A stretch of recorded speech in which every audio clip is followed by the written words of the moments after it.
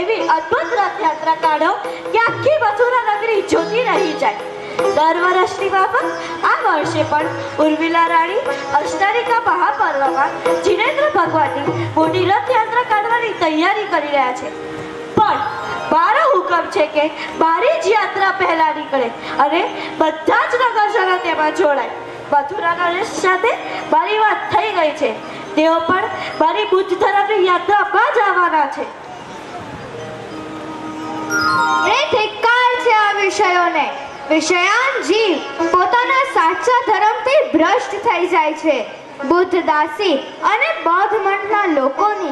માંગણી છે તો જ અને તો જ બુદ્ધ દાસી તેમને પરણે. અને વિષયાંત રાજાએ આ વાત માની લીધી.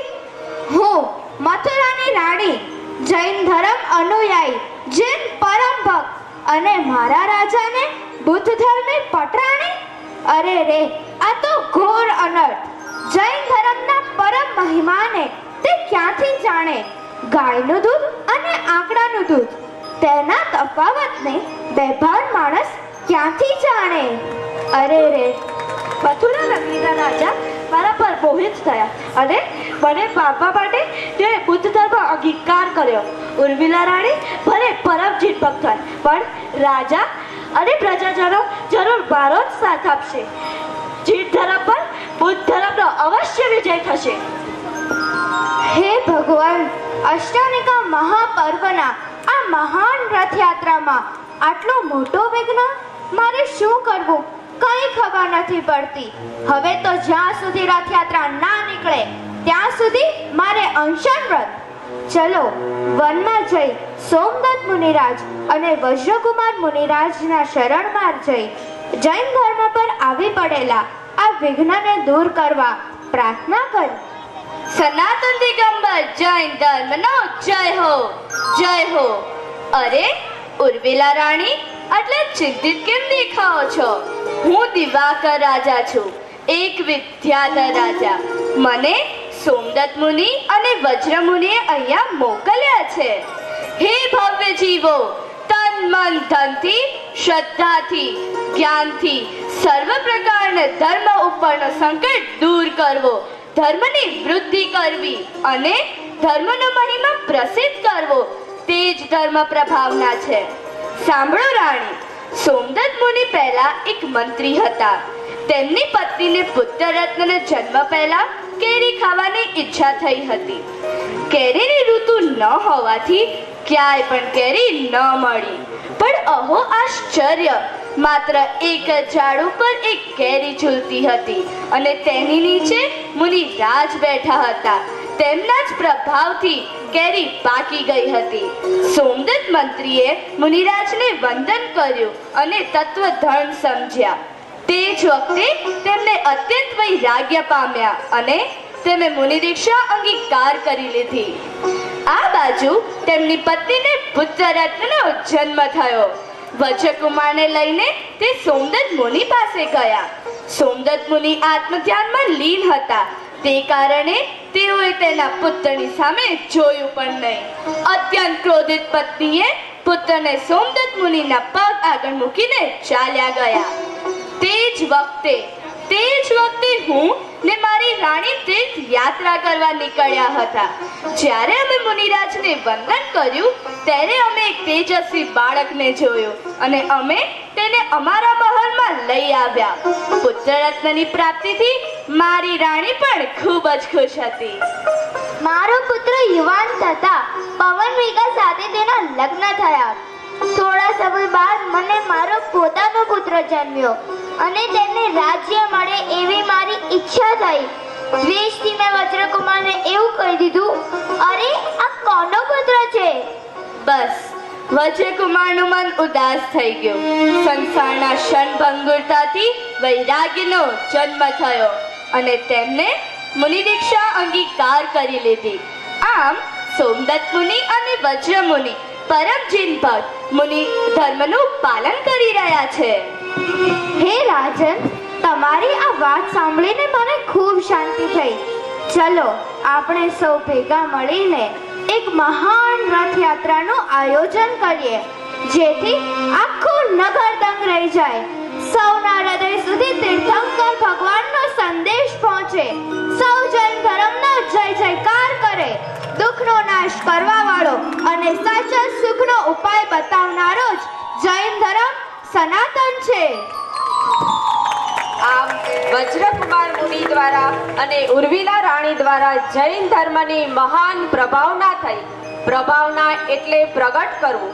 ધર્મી નિરંતર પોતાના જ્ઞાનને પ્રગટ કરે છે. મિથ્યાત્વના અભાવના લીધે તેઓને નવીન થતો નથી. નિર્જરાજ થાય છે. આત્માના જ્ઞાન ગુણને પ્રકાશિત કરનારા પરમ પૂજ્ય ગુરુદેવ શ્રીનો પ્રભાવના ખૂબ જ પ્રબળ હતો. દેશ વિદેશમાં જૈન ધર્મનો ડંકો વગાડ્યો, યથાર્થ મોક્ષ માર્ગનું ઉદ્ઘાટન કર્યું. આ બાળ ગોપાળ સૌને હું પરમાત્મા છું એવો મંત્ર આપ્યો. સૌનું સુખ સૌની પાસે જ છે. આવો પરમ નિરપેક્ષ ધર્મ સમજાવ્યો. અણુ અણુની સ્વતંત્રતા, પર્યાયોની ક્રમ નિયમિતતા, નિમિત્તનું અકર્તાપણું એવા અપૂર્વ સિદ્ધાંતોના આપનાર પરમ પૂજ્ય સદગુરુદેવ શ્રીને કોટી કોટી વંદન. ચાલો પૂજ્ય શ્રીના મંગલકારી જન્મ જયંતિ મહોત્સવના સદભાવમાં જૈન ધર્મની પ્રભાવના કરીએ.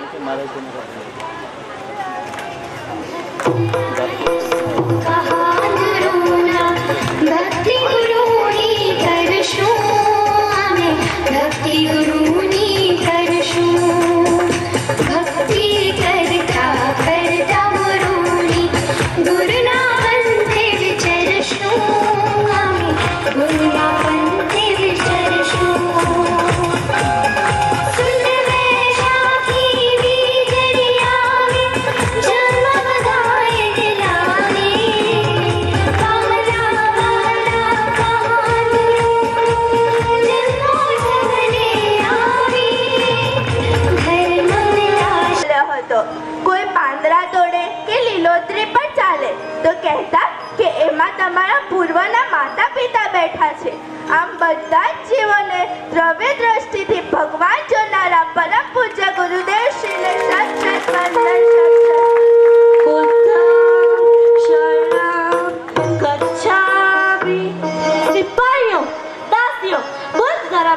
એવી અદ્ભુત રથયાત્રા કાઢો કે આખી મથુરા નગરી જોતી રહી જાય. દર વર્ષની બાબત આ વર્ષે પણ ઉર્મિલા રાણી અષ્ટારિકા મહાપર્વમાં જીનેન્દ્ર ભગવાનની મોટી રથયાત્રા કાઢવાની તૈયારી કરી રહ્યા છે.